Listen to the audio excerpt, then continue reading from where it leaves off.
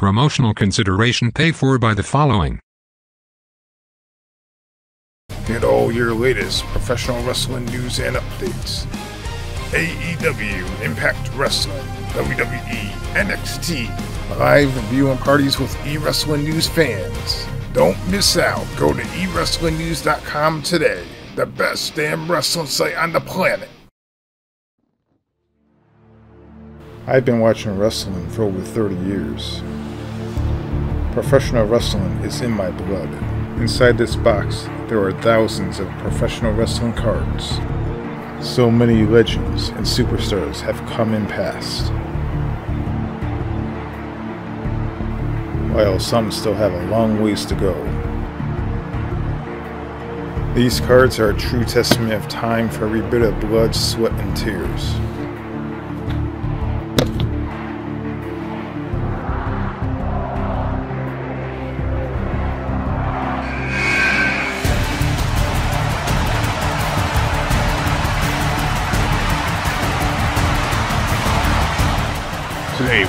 At the 1987 World Wrestling Federation Topps card set.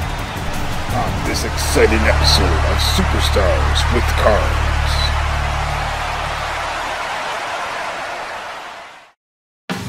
The classics. The rookies. The legends. Wrestling cards are back, bigger than ever. Game News Empire presents Superstars on Cards. Alright, folks, welcome to Superstars on Cards. And on today's episode, we're going to be taking a look at the uh, 1987 World Wrestling Federation Topps card set. Lots of classic cards we're about to take a look at. Uh, but first, let's head over to the Wrestle Vessel for the top wrestling cards of the week.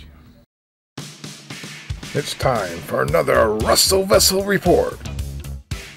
Top wrestling cards of the week. Of the week.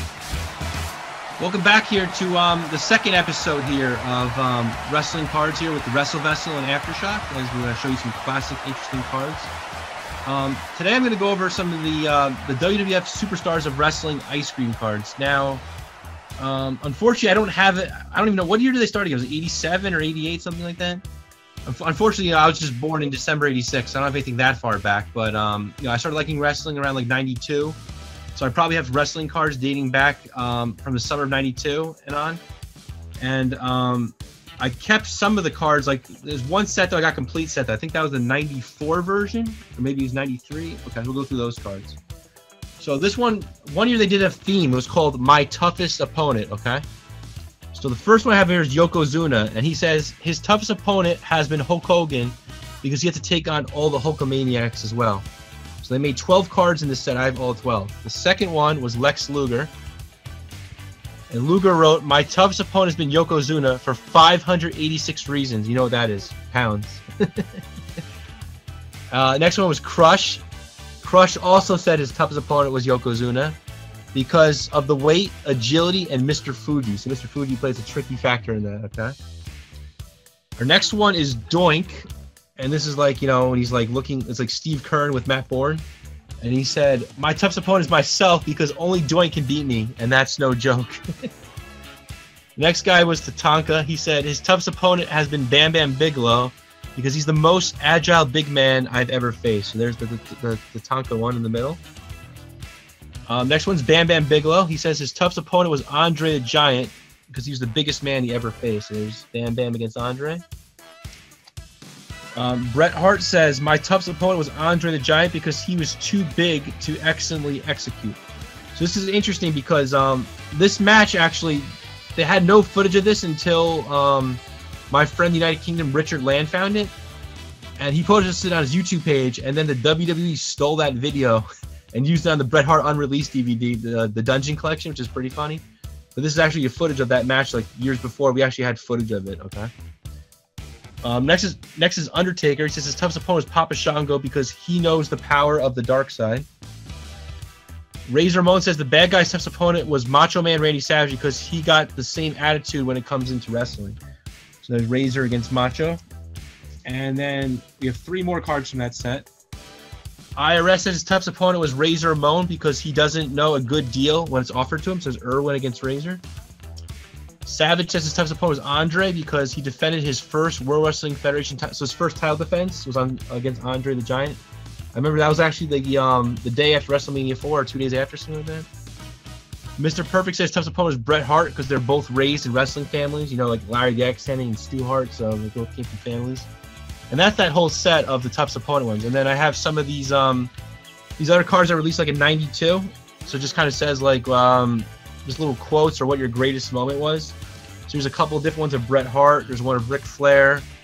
There's another Savage. There's one of Perfect. There's one of Hogan. So they kept making these cards for years. You know, the Superstars of Wrestling ice cream bars. I think they made them until 04, 05, 06, something like that. And then sadly disappeared. And CM Punk really wanted them back. And one last funny thing, you can even see on, on the back of some of my cards, I guess you see some of the old ice cream from the cards. All right, so this is the Wrestle Vessel report. I hope you guys enjoyed um, those unique cards of the um, WWF Superstars of Wrestling ice cream bar. Have a good one. All right, got some awesome stuff from the Wrestle Vessel right there. Uh, welcome back, and uh, once again, in just a brief moment, we're about to see the 1987 World Wrestling Federation card set. But let's get some uh, inside information on this card set from Zan Morning from Wrestling with Cards. Let's head over to Zan Morning and uh, here's some awesome facts about the 1987 World Wrestling Federation card set. Live from the Wrestling Card Control Center. Wrestling with Cards' very own. Zan Morning. Morning. Morning. What's up, wrestling fans? I'm Zan from Wrestling with Cards on YouTube. Today we're looking back at another awesome wrestling card set, and it's a set that's near and dear to my heart because it's the very first cards I ever opened packs of and ever owned. The 1987 Topps WWF wrestling cards. These cards feature some of my favorite card designs of all time. With some of them, you've got the American flag border, that's just classic. And then some of my even more favorite, the ringside action card, and some of the others feature ring ropes and the blue border. It just makes that image really pop. There are also iconic key cards in this set, similar to our last video with the 1985. The 1987 you kick things off with a bang. Number one card in the set, Bret the Hitman Hart. This is his rookie card considered by most. It's a very awesome looking card. You also have the first ever official WWF card because in the 1985 it was a sticker, but in the 1987 you get the first ever Andre the Giant official WWF card. And there's many other great cards and great photos in this set. Similar to the 85 Topps, the 87 Topps also features stickers. However, these stickers are have quite the different design than that 85 top set. The images used on these stickers are generally the same ones that you can find in the base card set. However, the background is this kind of red color with these floating WWF logos all behind it. It just screams 80s wrestling to me, and it just makes the images really pop. I absolutely love these stickers. So get ready to take a trip back to 1987 and experience these awesome WWF wrestling cards from Topps all over again. And when you're done with this video, make sure you head over to my channel, Wrestling with Cards on YouTube, for even more great wrestling card content. Enjoy! Alright, here we are, folks. We're going to be checking out the uh, World Wrestling Federation Topps 1987 card set. Uh, this card set is 75 cards. Now, this definitely definitely is like the pinnacle of the golden era of professional wrestling in 1987. There were so many things going on. And of course, it was probably one of the biggest WrestleManias of all time. You had WrestleMania 3 at the Pontiac Silverdome, 90 over 93,000 fans, and there is no doubt in my mind that there was a legitimate 93,000 fans inside that stadium. And uh, let's take a look at what we have here. We have Hulk Hogan versus Andre the Giant. During this time, it was a huge feud, the biggest thing going, and course, he had the, one of the best-looking World Wrestling Federation heavyweight titles during that time. And uh, lots of history going on during this time, and let's, uh, without any further ado, take a look at what we have here. Alright, let's make sure the camera is focused so you guys can see this nice and clear because this is one of the best card sets that you're going to be able to see right here.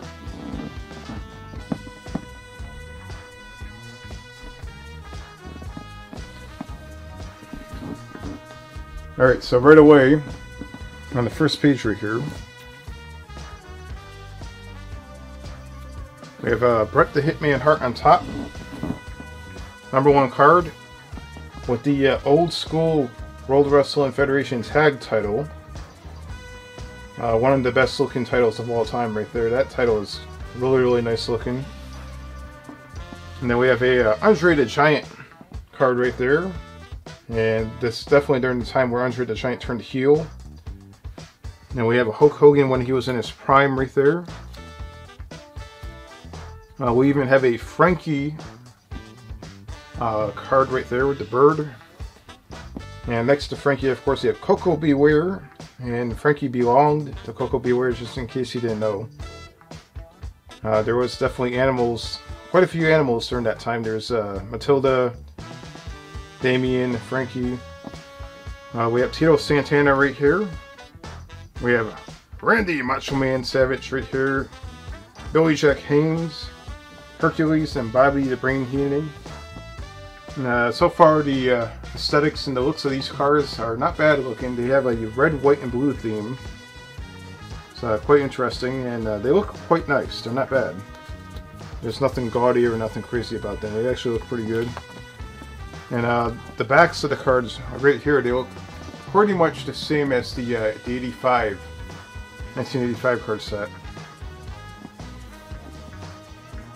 Okay, so we have a King Harley race card right there on top. And uh, we have a Kamala card. And Kamala was another great heel in the WWF during that time. And we have a Dino Bravo and um, uh, Greg the Hammer Valentine card right there. I had to read that closely, and of course, when I look at it, you can recognize him right away. Honky Tonk Man. That's around the honky. That's around the time where Honky Tonk Man first uh, made its debut. Got Outback Jack, King Kong Bundy, Magnificent, the Magnificent Muraco, another great underrated wrestler right there. Mr. Fuji and the Killer Khan. And then we got Butch Reed right here.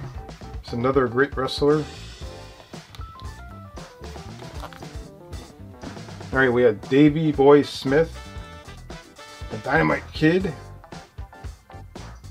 And uh, of course, those two are definitely my old, some of my all-time favorites right there. Got the British Bulldogs. That was a great tag team. We have a Ricky Steamboat right here. And of course, he remembered the Ricky Steamboat and Macho Man match at WrestleMania 3. That was like one of the best matches of all time in WWF. Alright, we have the uh, two-man clothesline by the Hart Foundation. We have Danny Davis wearing his ridiculous trunks right there.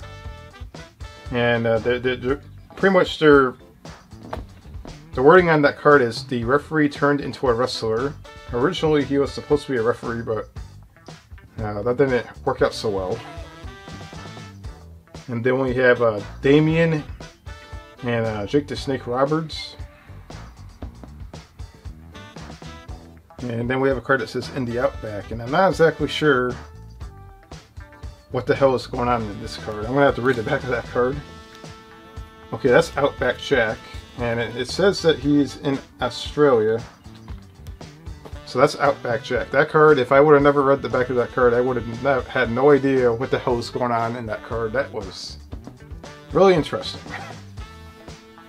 Now we have we have a great Hulk Hogan card right here when he was in his prime with the uh, one of the better looking world titles. That's the uh, what I would consider the 87 WrestleMania 3 world title. World, world title. Excuse me there for a second. And uh, just have a close-up look at that title. That title is one of the best looking titles of all time. Definitely a great title design. And Hogan was the only person that really wore that title because he held on to that title for so long. And uh, there was an extra large version of that title that was designed for Andre the Giant in the event that Andre the Giant won. And then we have what's called a double whammy right here. I believe those are the, uh, let's see, the Fab, the Fabulous Rougeaus. Okay, those are the Rougeau brothers. And then we got some of the Samoans right there on the top right here. And all those Samoans, they derive all the way back to like around that time in wrestling. You got guys like Roman Reigns and the Usos that are direct, directly related to those guys. It's, it's pretty crazy. And then we have more Samoans right here. We got the flip flop, whatever's going on there. It looks like the uh, the Rougeau brothers. And we got the Islanders, and that's what they were called back then. I believe they were called the Islanders. And then we have King Harley Race, and the uh, WWF is known as King Harley Race, and there we go. We have Hercules breaking a jobber's back in half, and oh my god. He's gonna have to see a chiropractor after that. Oh my god, look at that, he's breaking his back. That looks very painful. We have a double drop kick right here. And these are uh, the can and connection. And then we have King Harley Race disgracing one of his opponents right there, make, making him kiss his feet. And we have the uh, Hulk Hogan American Made carrying the flag right there. And then we have another Hulk Hogan uh, card right there where he's kneeling down next to his belt pointing up that's a pretty good looking uh, photo right there. That photo is actually great composition. Uh, they have some really, really good uh, shots in these uh, cards right here. So the, the photos that they captured, they did a really, really good job. That's another great Hulk Hogan capture right there with the uh, nice look at the uh, world title. That's if you like world title belts, that that specific card right there is actually quite nice. You can see the title belt up close quite well. And uh, you have Hulk Hogan down the next card. Listening to the uh, Hulkamaniacs. They're, they're running wild, brother, and they're really loud, crazy sounding. And then on the next card we, we have Koko B. Ware. And the fans are just as loud with Koko B. Ware. You see right there, the, all the fans sticking their hands out. Back in the 80s, the uh, the uh, pops that you get from the crowd back then was quite legitimate. Like the fans would run crazy over all the uh, baby faces. And you have Demolition, two Demolition cards right here. Demolition was a great tag team. Now, I'm not exactly certain how they, uh, the photographer managed to take that picture, but that is King Kong Bundy about to fall on the mat, and he looks like he's levitating. That is pretty funny. And somehow they turned that into a, a card, and it says Bundy in midair. That is quite the clever card right there. And we have the Karate Stance by, um, that is Ricky Steamboat. We have Miss Elizabeth, Miss Kempatera, I believe. Let's make sure I got the correct. That's Kempatera.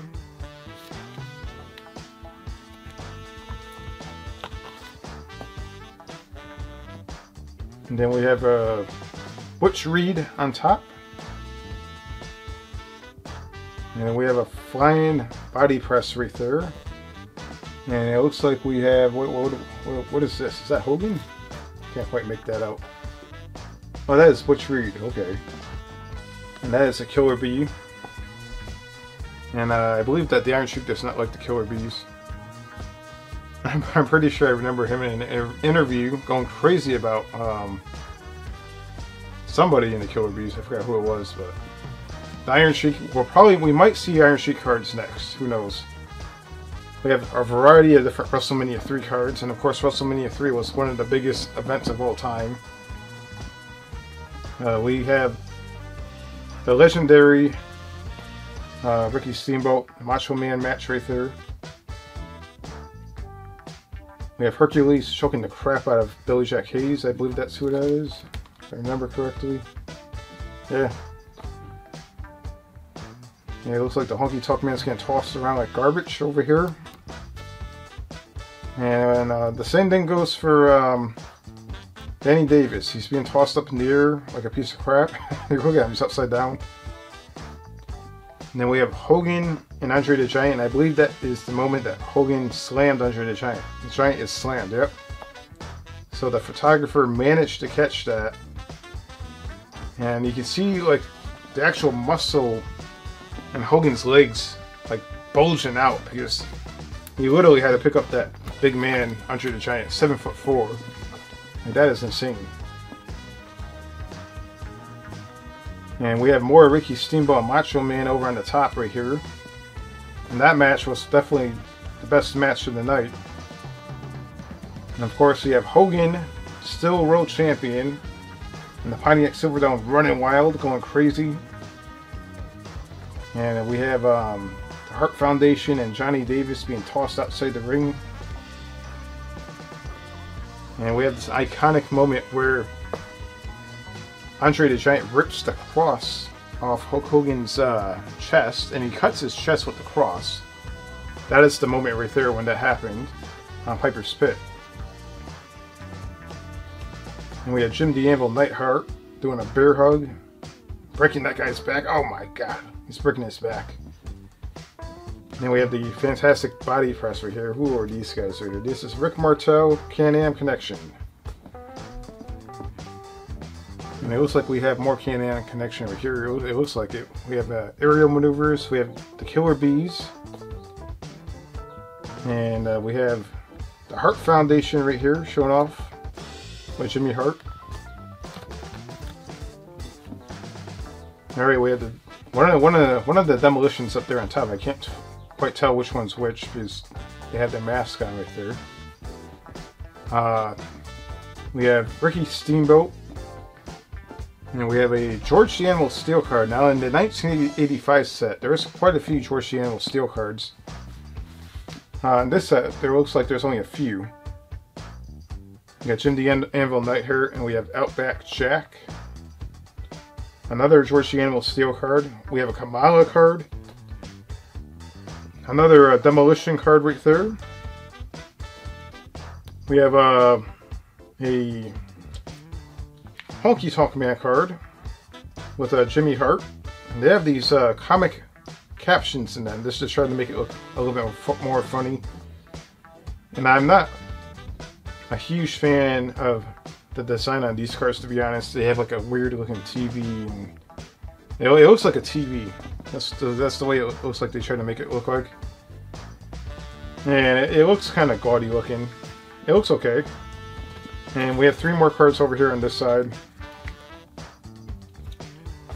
Alright, we have another Honky Tonk Man, and then we have all kinds of weird stuff going on here. What is going on here? We have a lot of guys in the ring.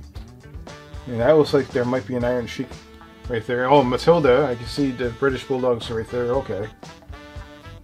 And who do we have here? Is that Outback Jack? Oh, Mr. Fuji. I guess it's Mr. Fuji. And that, and that would be the uh, 1987 Topps card set for the World Wrestling Federation.